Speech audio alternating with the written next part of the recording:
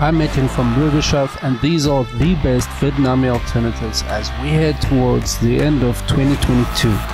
But before we get to that, please hit the like and subscribe buttons. That would mean the world to me. Okay, so you're looking for a Vidnami alternative, huh? Wasn't easy, but I found some good ones. Really good ones. So, without further ado, here is the updated and much improved list of the best Vidnami alternatives for 2022.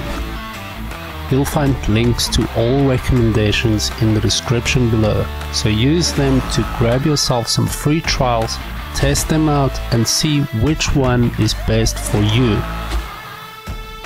Number 1 my top recommendation and pretty much as close to a Vidnami clone you're going to get Pictory AI is the leading text to video tool on the market at the moment.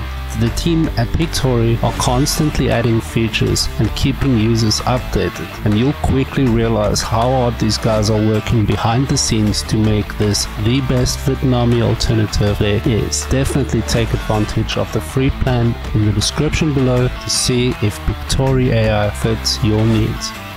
Number 2 if you're specifically looking to create shorter videos, Lumen 5 might also be a solid, very affordable choice to create videos using short pieces of text. The upside to Lumen 5 is the price and ease of use. The downside is that you're limited to 20 scenes, so you can't squeeze out too many more sentences than that. Otherwise, solid option. Number 3. In number 3, we have Steve AI which is quite new to the market and not quite as developed as Pictory AI, but still a great Vidnami alternative nonetheless, as its similarities to Vidnami are very obvious. Since you're looking at tools similar to Vidnami or Content Samurai as it was years ago, Steve AI fits the bill perfectly, but it does tend to cause some issues with really, really long videos, although that does seem to be getting better with every update. But that's it. Don't forget to like, subscribe. See you next time. Cheers.